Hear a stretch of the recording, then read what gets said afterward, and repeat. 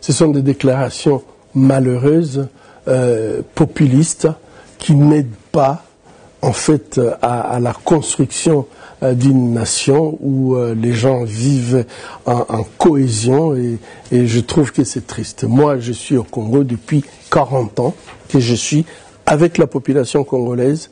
J'ai construit des écoles en fabriquant des briques avec cette population. J'ai été chercher des lots euh, à, à, la rivière pour faire des pavements euh, des centres de santé avec cette population. Euh, on, a, on a été avec cette population dans toutes les difficultés. On a cultivé avec eux.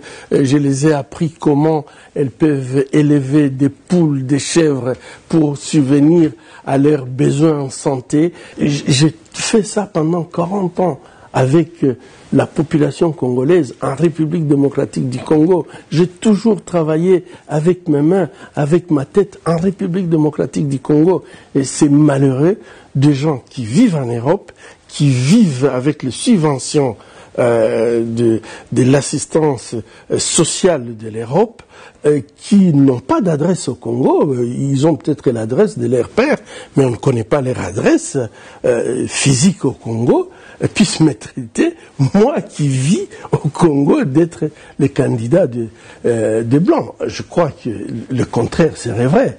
toute ma famille vit avec moi au Congo. Mes enfants ont étudié dans les écoles congolaises, les universités congolaises. Eh ben, je crois qu'il faudrait qu'ils revoient un peu leur discours par rapport, par rapport à moi. Je suis le plus congolais de tous.